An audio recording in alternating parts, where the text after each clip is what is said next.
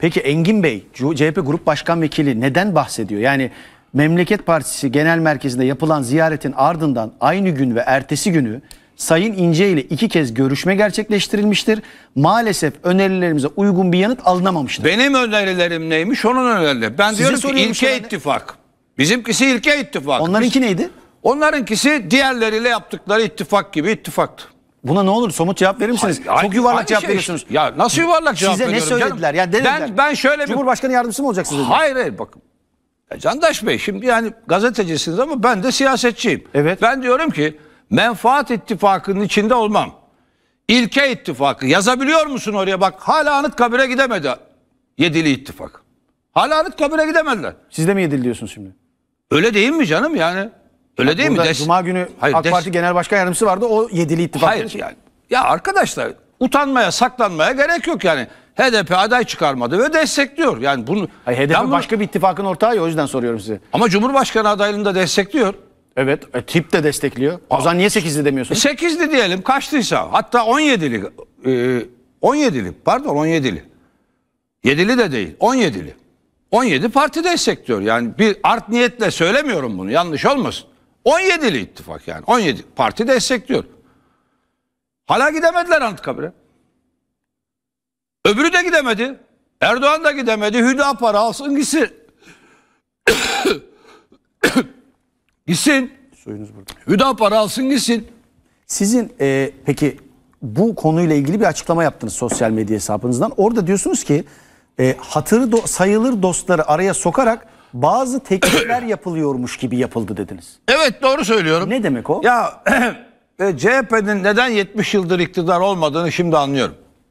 70-80 yaşında değerli abilerimiz bile buradan kendilerine bir rant devşirme işine giriştiler. O dönemde. Nokta. Bu kadar. Sizi aradılar. Mektup adrese gider. Sizi aradılar. Yani gidip basına açıklama yapmaları, ben de Muharrem İnce ile konuştum falan. Bunlar gereksiz işlerdi. Şeyden bahsediyorsunuz değil mi? Hikmet Çetin'den bahsediyorsunuz. Yani Çünkü is- Hikmet Bey bunu açıkladı. Ya siz İsim şu an- falan vermeyeceğim. Siz- As- siz ben ver- Hikmet Bey'e bu benim sorunum değil diye bir laf söylemedim. Heh, çünkü onu Asla öyle bir şey söylemedim. İzleyicilerimiz- Asla. Kendisine mesaj attım. Hmm. WhatsApp'tan yürüdüm yani gençlerin deyimiyle. Kendisine mesaj. yürümemişsiniz. Yürümek başka bir şey. Öyle, öyle yok. o çok yanlış anlaşıldı. Yok, gençler öyle anlıyorlar ya. Ama yürümek o değil. Hayır hayır. Ee, tabii abimiz o ayrı mesele.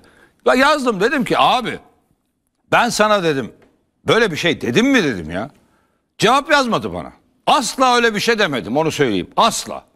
Şimdi izleyicilerimiz Memleket nasıl benim sorunum olmaz? neden bahsettiğinizi bilmiyor olabilir. Gündemi takip etmeyen özellikle genç izleyicilerimiz çok Evet. var. Ee, eski Cumhuriyet Halk Partisi Genel Başkanı, yöneticisi, çok kıymetli Beşiktaşlıdır da ben de severim Hikmet Bey'i. Hikmet Bey bir açıklama yaptı. Dedi ki Muharrem Bey'le ben de konuştum bu süreçte. Muharrem Bey'e bu işi bizim bitirmemiz lazım ilk turda dedim. Muharrem Bey de o benim meselem değil diye açıklama yaptı. Siz de bunun üstüne yorum yapıyor, konuşuyorsunuz şu an. Böyle ben bu benim meselem değil gibi bir laf etmedim. Dedim ki ya ben de bir şey konuşulan falan yok. Ee, birinci turda bu seçim bitmez. ikinci tura kalır bu seçim. Ee, ama birbirimizi incitmeyelim dedim. Birbirimize lazım oluruz dedim. Lazım oluruz.